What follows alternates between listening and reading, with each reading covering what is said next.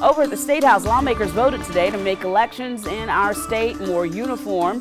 Julia Kaufman joins us now live with more on how the election process could be changing where you live. Darcy, House Bill 3444 aims to give authority to the State Election Commission to decide how elections should run in South Carolina.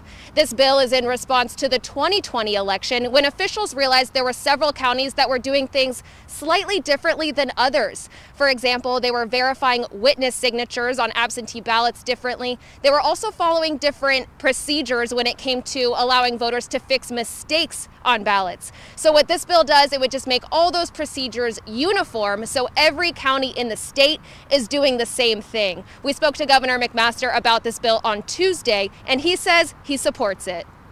But what we want to do with this bill is to ensure that we have accountable procedures the same in all 46 counties.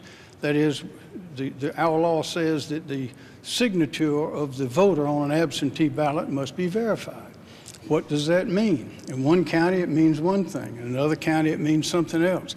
That's not the way to do it. It ought to be the same in every place. So this bill, very simply put, seeks to, to add the element of statewide uniformity so that the elections across the board um, will be, will be, as we say in the PD, on the same page.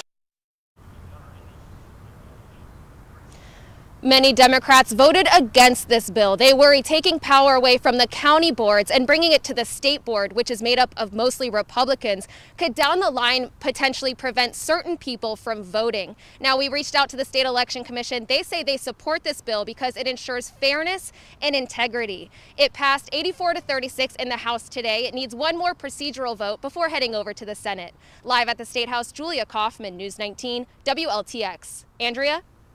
All right, Julia, thanks so much for that update. And